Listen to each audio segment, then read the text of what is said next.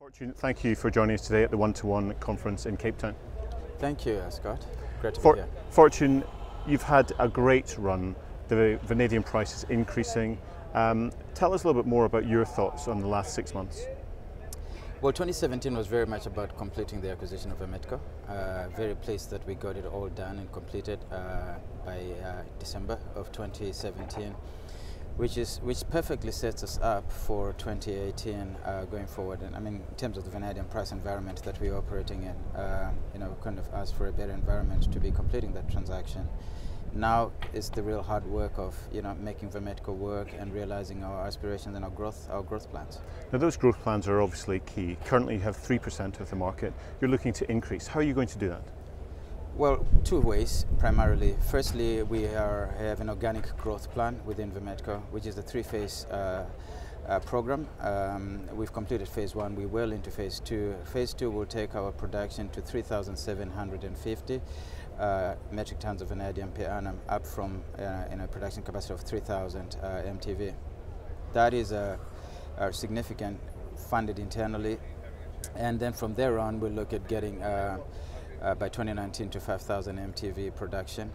Uh, so that's one part of our, uh, of our growth of our growth story. The second part is we continue to look at brownfield assets um, around in close proximity to our deposits, uh, and that will take us beyond you know the 5,000 MTV per annum production level. And the attraction of brownfield cannot be you know overstated. Um, it is um, you know the opportunity for us to get into into production or to grow our production uh, platform and to do it much cheaper than it would cost us to do on a greenfield basis.